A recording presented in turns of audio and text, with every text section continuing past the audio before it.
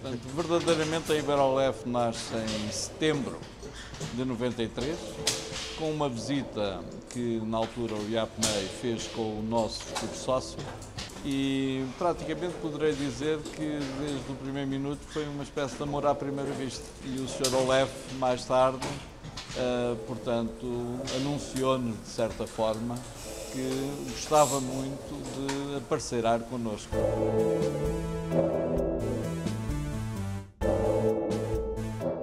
sempre sentimos que o sucesso desta empresa seria sempre fundamental a fabricação de moldes de qualidade e cada vez mais exigentes. O primeiro contacto que eu tenho físico com, com a empresa foi no lançamento da primeira pedra e que fez exatamente 25 anos nesse dia em que o homem pôs o pé na lua. Logo aí o sucesso dessa empresa estava a nascer.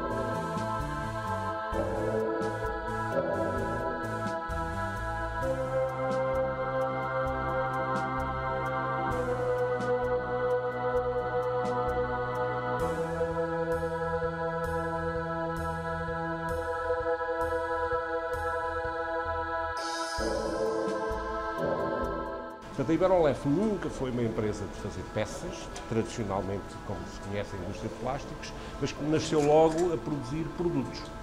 Produtos esses que são os ventiladores, portanto, aqueles ventiladores que estão nos tabuleiros dos carros, é? que no caso concreto da Iberolef foi para a Alta Europa, para o primeiro modelo da Alta Europa.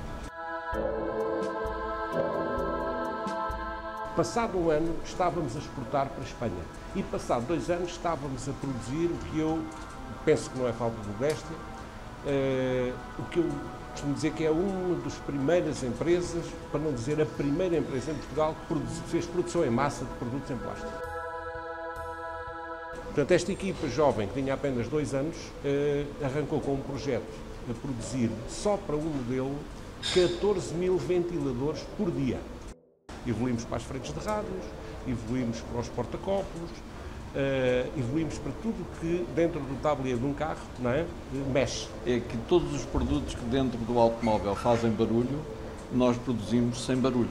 Fazemos sem barulho, é verdade, mas com um som especial. Perto do ano 2000 houve um acontecimento também extremamente importante, que foi o primeiro negócio global da Iberolef. Foi nomeada pela primeira vez para produzir um carro a nível mundial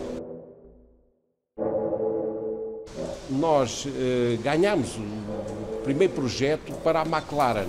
Isto é, vamos tornar a Iberolef numa empresa que sabia produzir 14 mil carros por dia, eh, aprender e desenvolver os métodos eh, necessários para produzir um carro e meio por dia, ou um ventilador e meio por dia. Há um aspecto que eu acho que é relevante, que é o facto de nós termos iniciado a empresa com 28 pessoas, e passado três anos já éramos 175 e passado mais dois anos já chegámos a ter cerca de 600 pessoas. E também, eh, digamos, um grande apoio que sempre tivemos eh, da parte do próprio IAPMEI, desde a primeira hora, é? através do GAPIE, na altura, nos introduziu uh, o nosso sócio previu em nós e acreditou que a nossa equipa era capaz de levar esta empresa muito longe.